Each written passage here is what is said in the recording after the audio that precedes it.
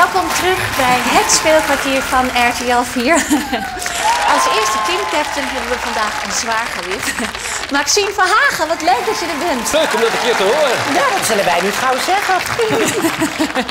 Nou, de stemming zit er al lekker in. Wat, is er al een stemming geweest? Nee, nee, nee, nee. Want als er een stemming was geweest, dan had ik wel gedreigd om tegen te stemmen. Ja, dan hadden wij samen gedreigd om tegen te Dan stemmen. hadden wij al hoog en breed op de gang gestaan met een Stuurse kop en mijn map en mijn Blackberry. Ja, en had ik heel lang op mijn poot gespeeld en gedaan alsof ik een ruggengraat heb. Ja, maar dan hadden we onze keutel, als het erop aankwam, toch gauw weer ingetrokken. Wat een eh, stelletje deksels, eh, christendemocraten, niet Linda?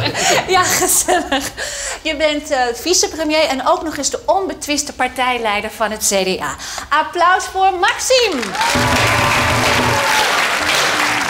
Stel je teamgenoot even aan ons voor. Nou, eh, mijn eerste teamgenoot, eh, die ken ik dus eh, van de paardenclub. Van de Parenclub.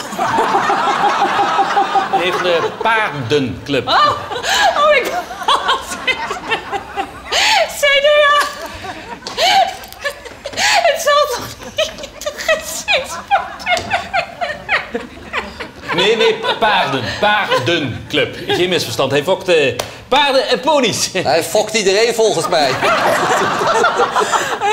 En hij heeft met zijn eh, lekkere, nuchtere uitstraling ons, de gedoogcoalitie van de PVV, eh, ingerommeld. En als beloning kreeg hij eh, van mij een staatssecretariaat op mijn ministerie, Henkie Bleker.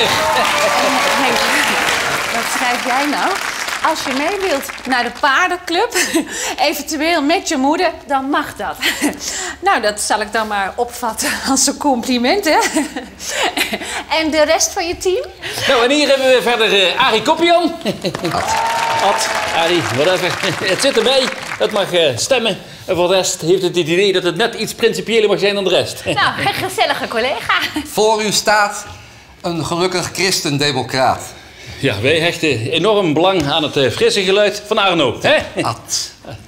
Je hoort het altijd eigenwijs, onze app. En dan hebben we hier eh, Kathleen. We hebben hier Kathleen Verrier. Zij is ook eh, lid van het CDA.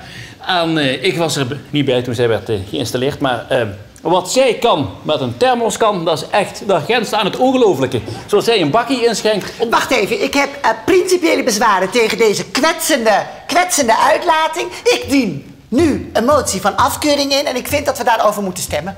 Ik zeg gewoon wat de meerderheid van de fractie vindt. En dan heb jij je gewoon mee neer te leggen. Nou, dan wil ik graag een oordeel van de hele partij. Dan tillen we die motie van afkeuring over het weekend heen... om hem daarna opnieuw in stemming te brengen. Oh, maar pardon, dat is niet de bedoeling. Wij rekken dit programma al op tot bijna anderhalf uur. Maar over het weekend heen tillen, dat gaat zelfs ons te ver. Ja, we zijn de Voice of Holland niet. Oh nee joh, dat is goed joh. Laten we dat dan maar doen. En dan blijf ik hier wel gewoon staan met een passief-agressieve kop. Dat de mensen zien van nou, ze is het er niet mee eens. Maar kijk, er is deugen. Ja, nou en met dit eh, team ga ik dus winnen, Linda. Nou, doe je best. En over winnen gesproken, we doen het natuurlijk niet zomaar. We willen allemaal een prijs.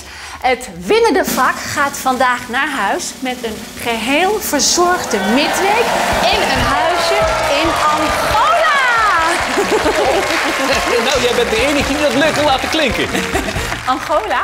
Nee, eh, een midweek in een huisje.